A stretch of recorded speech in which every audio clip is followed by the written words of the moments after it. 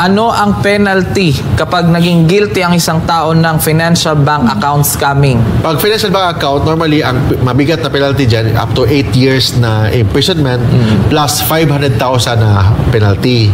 A fine, 500,000. Pero, if you are a matatawag na na economic sabotage na. Pag economic sabotage, sindikato na talaga ang scam. Sindikato na. Nag, nag, naging money mule, sindikato na. Yung, Malalaking- yung social Na- engineering scheme, sindikato na. Ibig sabihin, more than three na nag-scam. Economic sabotage ang tawag doon. Pag economic sabotage, lifetime imprisonment plus 500 ah, 5 million peso na fine. So, yun ang mga penalties.